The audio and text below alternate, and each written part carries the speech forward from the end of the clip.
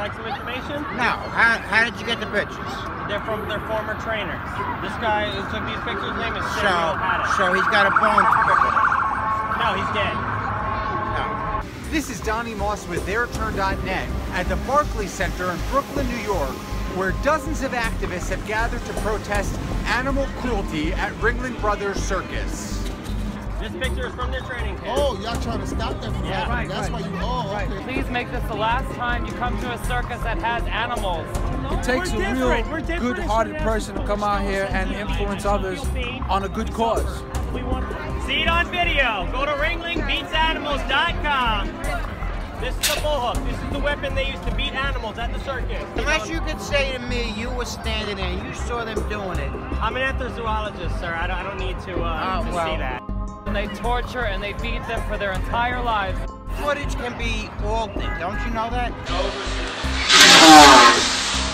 They harm the animals. They beat them with weapons. You're putting stuff out that you, you haven't even seen. Ringlingbeatsanimals.com. You're paying for animal abuse. They beat them into submission. I They don't think they beat spirit. them. There's no other um, substitution. No, there's no way to, there's no nice way to something else in the boxcar, you know? They were actually going to go in and they turned around when they realized what really went on there. If you would not want this done to your own